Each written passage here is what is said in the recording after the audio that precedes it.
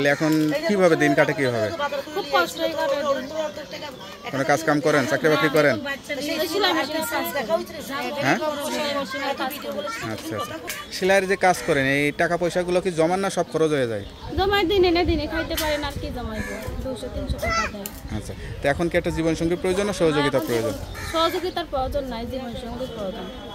কীরকম মানুষ হলে জীবনসঙ্গী হবে? যেমনই হোক যাবে সুখে দুঃখে পাশে থাকব সুপ্রিয় দর্শক আসসালামু আলাইকুম। দেশ ও প্রবাসে যে যেখানে আছেন আপনাদের প্রত্যেককেই শুভেচ্ছা জানাচ্ছে। আজকে নতুন একটি প্রতিবেদন দেখতেই পাচ্ছেন আমার সামনে একটি আপু আসছে।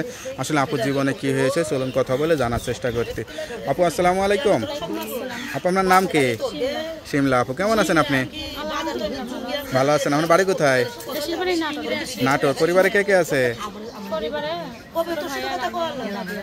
মা বাবা নাই? মা বাবা কি হয়েছে? বাবা খসকো বললে না বিয়া করে চলে গেছে। মা বিয়া মা বিয়ে করে বউ পাইছে। নাকি মা বিয়ে করে স্বামী পাইছে বাবা বউ পাইছে? আপনি কি পাইছেন জীবনে? শুধু কষ্টই পাইছেন। কোন কষ্টটা সবচেয়ে বেশি লাগে? মা বাবা হারা যেহেতু ছোট ভাইদের নিয়ে আছে যে তখন একটা ভালো মনের মানুষ পাইলে তার সাথে জীবন সঙ্গী এখন বয়স কত আপনার? আঠারো। আঠারো। লেখাপড়া করছিলেন? লেখাপড়া করতে পারি নাই তাহলে এখন কীভাবে দিন কাটে কীভাবে? খুব কোনো কাজ কাম করেন চাকরি বাকরি করেন। হ্যাঁ। আচ্ছা আচ্ছা।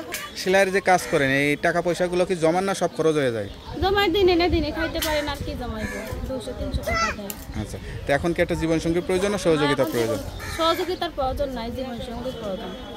কীরকম মানুষ হলে জীবনসঙ্গী হবে? যেমনই হোক যাবে সুখে দুঃখে পাশে থাকব সংসারে কাজকর্ম সব পারেন? হ্যাঁ কি ভালো রান্না বান্না করতে পারেন? রান্না বান্না মোটামুটি সবই পারেন।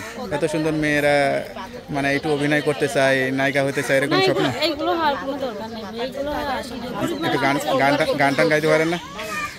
গান টান পারেন? নামাজ কালাম পড়েন? নামাজ যাক নামাজ কালাম পড়ে আল্লাহর কাছে কি দোয়া করেন? সাথে সাথে